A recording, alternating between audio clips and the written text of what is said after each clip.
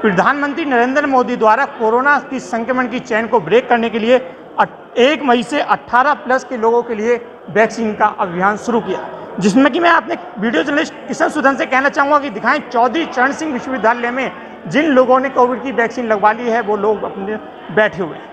जो कि अपने हैं, आप देख सकते हैं कि जो प्रधानमंत्री नरेंद्र मोदी द्वारा कहा गया था 18 प्लस, आप देख सकते हैं, जिन लोगों ने वैक्सीन लगाई है, उसमें 18 प्लस से लेकर लेकर 45 वर्ष तक के सभी लोग देखे जा सकते हैं। एज मैम मैम से जानना चाहेंगे, उन्होंने वैक्सीन लगवाई है, प्रधानमंत्री नरेंद्र मोदी द्वारा जो कहा गया है, उसको लेकर मैम प्रधानमंत्री ने कहा था कि कोरोना को रोकने के लिए वैक्सीन लगवाई जाएगी। आपने वैक्सीन लगवाई, आप लोगों के लिए क्या कहना चाहेंगे? क्योंकि कुछ लोगों में अभी वैक्सीन को लेकर रहे हैं। नहीं, सबको इस अभियान में शामिल होना चाहिए, वैक्सीन लगवानी चाहिए, तभी तो हम लोग सुरक्षित होंगे। जैसे कि मैम ने भी कहा कि सभी को वैक्सीन लगवानी चाहिए। ऐसे ही हम एक छात्रा हैं उनसे पूछना चाहेंगे कि उन्होंने अपने यहाँ वैक्सीन लगवाई है वो अन्य युवाओं से क्या अपील करेंगे? मैम आपका नाम?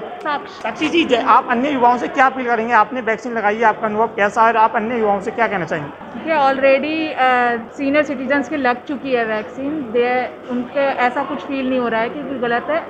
वैक्सीन से आपकी इम्यूनिटी बढ़ेगी, ठीक है? तो जितना जल्द से जल्द हो सके, अपना स्लॉट बुक कराइए और वैक्सीन लगवाइए। जैसे कि इन्होंने भी कहा कि जब 45 साल से ऊपर के लोगों की सिटीजन की वैक्सीन लग चुकी है, ऐसे में अब डर की कोई बात नहीं है। युवाओं को और सभी लोगों को सक्रिय रूप में भागीदारी निभाते हुए अपनी वैक्सीन लगवानी चाहिए। ऐसे एक सर हम सर से जानना चाहेंगे कि उन्होंने वैक्सीन लगवाई है और जिस तरीके से संक्रमण बढ़ता जा रहा है बहुत ही ज़्यादा डर भी देखा जा रहा है। सर, आप क्या कहना चाहेंगे अन्य लोगों को वैक्सीन के बारे में? और कोरोना को लेकर अब भी लोगों में जागरूकता देखी नहीं जा रही है। आप क्या अपील करना चाहेंगे? वैक्सीन बहुत ही सुरक्षित है और सभी लोगों को वैक्सीन ले लेना चाहिए।